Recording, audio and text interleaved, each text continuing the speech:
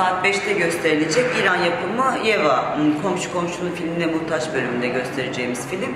İki gündür bununla ilgili Azerbaycan hükümetinin konsolosluğu aracılığıyla girişimleri vardı. Fransız Kültür Merkezi'nden önce gösterilmemesini talep etti. Ee, onlar biz saygılıyız bu konuya göstereceğiz dediler. Ee, şeyde hmm, Dışişleri Bakanlığı'ndan gösterilmemesini talep ettiler ve en son İstanbul Valiliği tarafından bugünkü gösterim yasaklandı. Azerbaycan e, konsolosluğunun talebiyle. Yani yasağın gerekçesini ya da herhangi bir şeyi çok bilmiyorum. Gerekçe bize verilmedi, tebliğ edilmedi ama ben e, okuduğumda şeyden söz ediliyordu. Olağanüstü hal oldu, filmin protestolara neden olabileceği, kamu güvenliğini bozabileceği vesaire gibi gerekçelerle valilik yasakladı.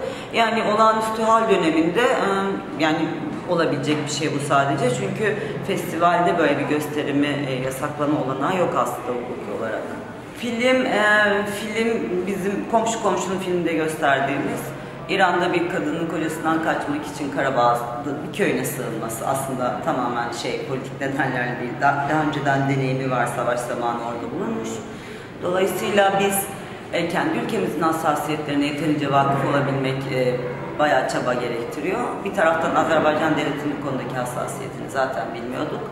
E, o e, sığındığı köyün bir Ermeni köyü olması işte Karabağ'ın Ermeni e, bölgesi olduğu şeyi yaratıyormuş. Algısı yaratıyormuş. O yüzden filmle ilgili tepkileri var. E, anlayabildiğim bir şey değil. Biz sadece yasağı uymak. Yani bunu değerlendirme kabiliyeti maalesef yok.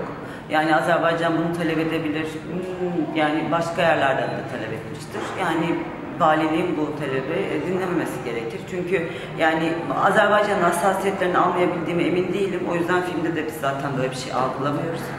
Dolayısıyla e, şey yani herkes filmlerini özgürce yapabildiği bir dünya istiyorum. Bu hassasiyetleri anlamaya başlarsam zaten e, bu festival olmaz. O yüzden anlayabildiğim şeyler.